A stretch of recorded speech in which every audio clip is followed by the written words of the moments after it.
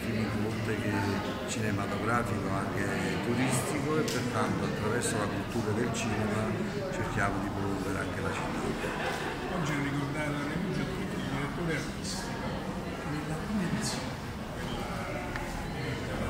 quella da Rondi, ci fu un esploit incredibile.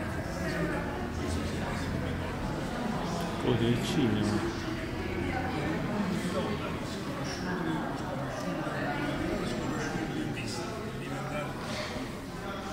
Esploit, un mondo mondiale. Quest'anno. Sì, speriamo che, abbiamo quella fortuna. Dire, avevamo, senza togliere niente al religio, Gianluigi Rolli che era già all'epoca un personaggione, era, era un gigante che ha aiutato molto gli incontri del cinema. Eh, l'obiettivo è quello di, di attrarre l'interesse internazionale. Sono convinto che con gli sforzi che stiamo facendo possiamo.